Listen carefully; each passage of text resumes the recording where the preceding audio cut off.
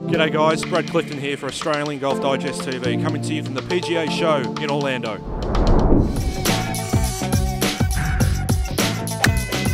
I'm with Don Shin, the CEO of Volvik Golf, and we've got a fantastic array of new golf balls that Don's going to run us through. First of all, we've got the S3 and S4. Don, tell us what it's all about.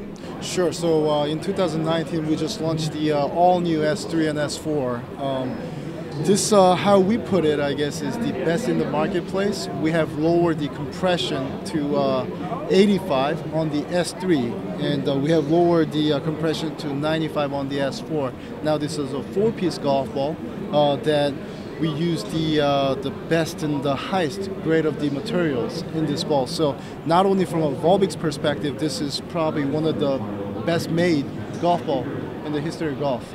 Uh, so this is the S3 and S4 that you're seeing here, uh, and uh, we're really excited about this new product. I guess the big thing with coloured golf balls too is there's often a uh, you know an image people think oh it's a coloured golf ball it's not a serious golf ball but this is a genuine quality tour golf ball isn't it? Oh absolutely this is a tour quality this is a tour winner. Uh, we're putting it out on the uh, KPGA uh, Asian tours and all the other men's and uh, women's tours, uh, especially on the women's tour uh, on the LPGA. We have so many wins out here. We have over 10 players that are playing on the LPGA. So this is definitely a tour winner. There you go, guys. The new S3 and S4 from Volvik. Keep an eye on them out in Australia.